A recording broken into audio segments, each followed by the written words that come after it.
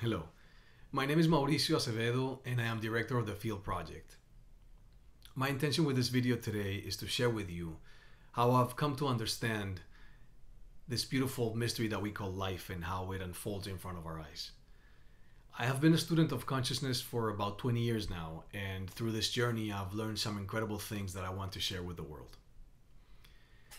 I was introduced to this concept of consciousness as cause, or that somehow our consciousness creates our reality at a very early age. I went away to school, and I remember a friend of mine at the time wrote me a letter with a technique he had found in a book to basically get whatever you wanted. The technique involved listing the things that you wanted, saying a couple of phrases, basically thanking God for having given the order for your desires to be fulfilled, and then letting it go. The only caveat was that you had to trust it 100%. If you didn't trust it 100%, it wouldn't work.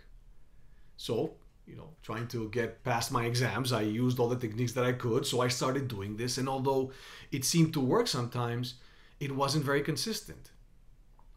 Basically, the explanation that I gave myself was that the times the times that it didn't work, I might be doing something wrong. I, I must not be trusting this 100%, or I'm not doing it right and that's that's where that that was left.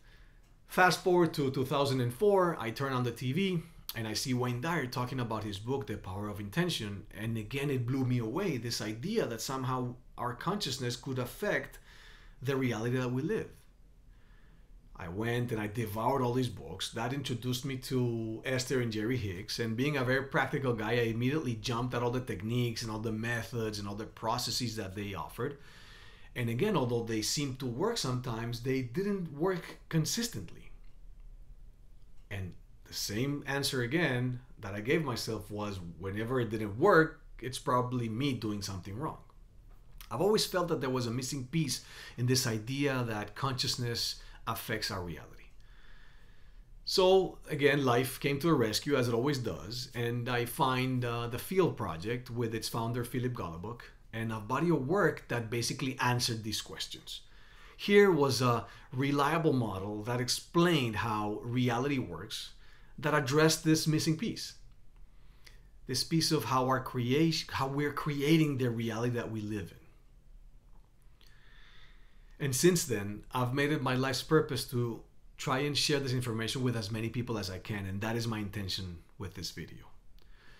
So, the first thing that the Field Project does is explain how nat- the nature of reality is based on the new physics of quantum physics, showing that there's different le- different levels. The first is what we call the particle self, then is the wave the wave self, and then the uh, field self.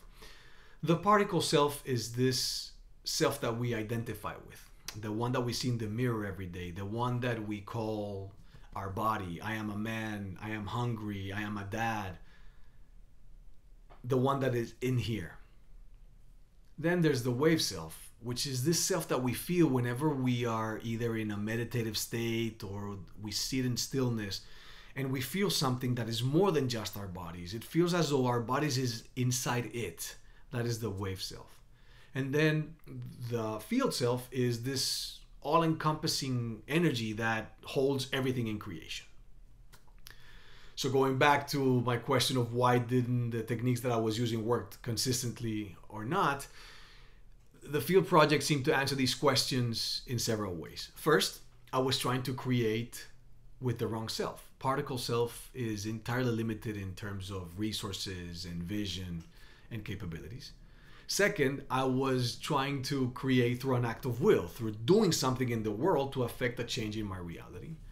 And third, I was trying to create through desire. And desire alone does not create. We've all had these moments in our lives where we wanted something to happen with all our hearts and it doesn't happen. Or on the other hand, we wanted something not to happen with all our hearts and it happens anyway. So desire alone does not create. But if we go back to the question and we realize and recognize that there is a connection between consciousness and the reality that we live in, and if we say that desire is not what creates, then what is it then? The field project responds saying that it is our intentions what create. And they don't use the intentions the same way that Wayne Dyer does. Intentions is a technical term uh, uh, used in the field project model to talk about a structure of consciousness that comprises what we take to be real and that with, with, with which we identify with. What we take to be real and what we identify with. The problem with intentions is that sometimes our intentions can be unwitting. Sometimes we might not have questioned intentions that we have that we inherited from either our parents or the culture that we live in. Or our intentions might be in contradiction. What we take to be real and that which with which we identify with might not might not be in line.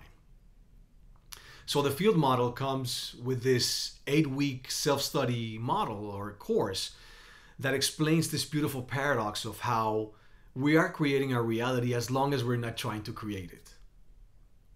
And it does this by taking the will out of the equation. Second, taking manifestation out of the equation as a measure of the success and making alignment the only aim of practice. Students that have come through the field project all report a sense of relief, happiness, and joy. And I want to share this with the world and invite you to try it for yourself and live in this beautiful, creative medium that we call our life. Thank you again for the opportunity. The name of our company again is Field Project. We can be found at fieldproject.net, fieldproject.net. My name again is Mauricio Acevedo, and I hope to speak to you soon. Bye bye.